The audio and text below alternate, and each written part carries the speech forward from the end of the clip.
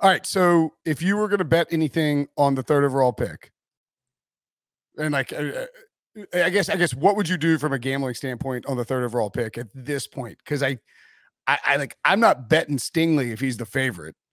I don't think it's crazy Mm-hmm. if they take Stingley third. I don't think it's crazy if they take Ickey third. I don't think it's crazy if they take Neal. I, I don't think anything is off the table for the Texans. I, I believe they would love to trade down. They won't find somebody to do it. Mhm. But I, I don't. I have some. I have Stingley and Sauce, Ahmad Gardner, Sauce Gardner, third overall. Um, and I think that's it. But I found myself while doing my final mock that was due several hours ago and is not finished, um, leaning towards Ickey at three. Yeah. So right now, if I'm like I'm looking off FanDuel, Stingley is the favorite at plus 250. He just recently moved to the favorite at plus 300. A lot of books, and he's still going down. Uh, so if you got a piece of Stingley, awesome. Uh, earlier today, you could still get Stingley as just like a straight top five pick. Uh, to be available at like uh, I think plus 300 when I had it. I'm sure that number is going to be down a little bit now, but that's the sort of thing that I would rather do, and you just get yourself a little bit of protection, assuming maybe some of this hype is is unwarranted, especially with the Giants sitting there at five, and we know the Giants are a corner potential team as well. If Stingley's that high, I will buy opposite and take Gardner at plus 430 right now in FanDuel. Gardner has been the consensus corner one this entire time. What What do you think about those two guys? Just from a pure evaluation standpoint. I mean, Stingley obviously has the insane 2019. Yep. But then Gardner comes from a school where, and uh, you know, since he's not you know this P5 powerhouse, but man, their defense is elite. I trust their defense. I trust the the way they teach the defense, and he seems his floor is much safer than Stingley's. But Yeah. Ceiling is probably higher, right? Uh, yeah, it's a good way of looking at it. Right now, by the way, Derek Stingley is plus 170 to be a top five pick, which to me is nice if you're not sold on Texas at three. But you know it's what's really weird, by the way? What's that? My buddy Newman just texted me a link to a tweet of yours about Cincinnati. The Bearcats? Something about Desmond Ridder.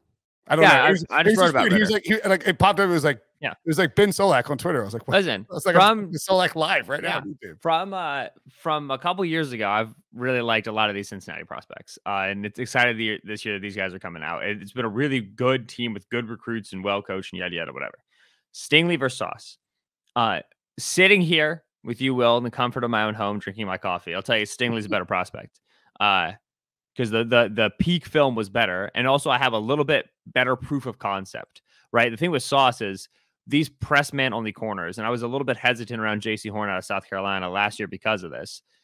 They do a really good job denying college receivers line of scrimmage, and when you deny those college receivers, you deny targets. When you deny targets, you deny opportunities for ball production, which doesn't mean you're a bad player. It just means when I go to the film to see how you perform at the catch point in phase downfield, right? In transition, in a break on a route, things that matter to NFL teams, I don't have as many looks at it as I do usually otherwise, right?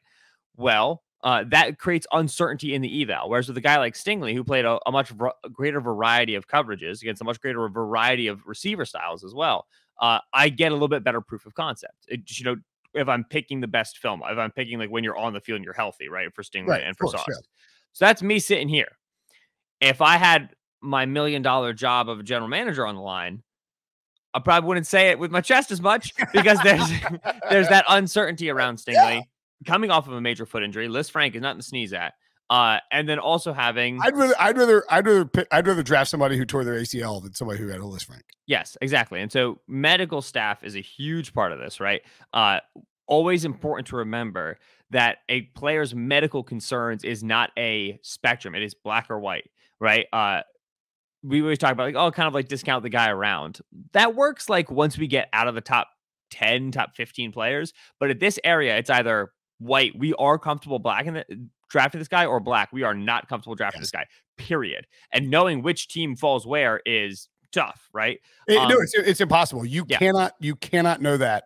It, like as a media member, the only Yeah. way you can know that is if you are in the front office of that. looking at the board and seeing Correct. that the name shows a big red cross, right? That that little red cross, like the health symbol on that, saying we're not like he's up there, but we're not gonna, he's not for us because we our doctors don't think he's gonna make a whole first contract career or whatever.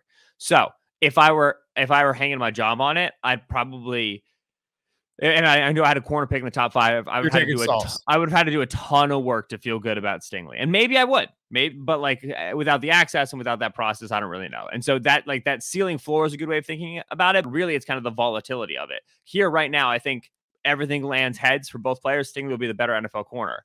You got to flip a lot more coins for Stingley, and I don't know how that's going to fall.